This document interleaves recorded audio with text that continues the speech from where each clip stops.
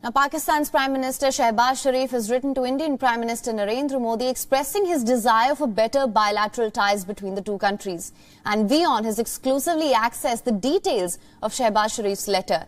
In his reply to Prime Minister Modi's congratulatory message on assuming office, Sharif has said that Pakistan remains committed towards maintaining regional peace and security.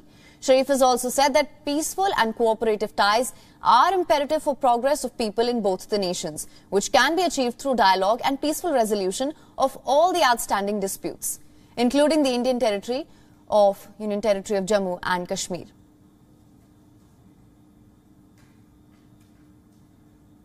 And WION Pakistan Bureau Chief Anas Malik has sent us this report. Let's listen in.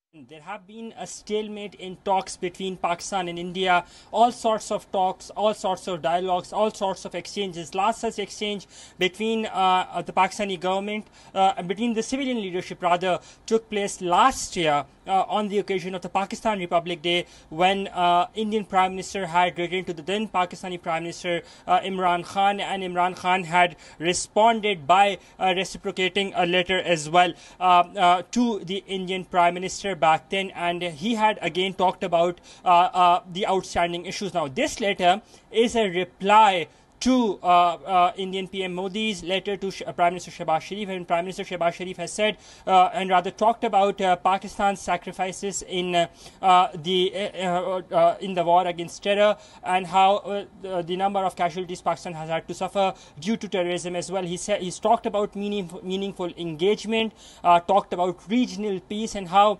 regional peace is directly subjected to peace between India and Pakistan and that how uh, going forward uh, Jammu and Kashmir issue uh, is there as well in, in the talks and that has to be talked about as well for a peaceful region. This is what Pakistani Prime Minister Shehbaz Sharif has emphasized in his letter. that is a reply letter to Indian Prime Minister Narendra Modi.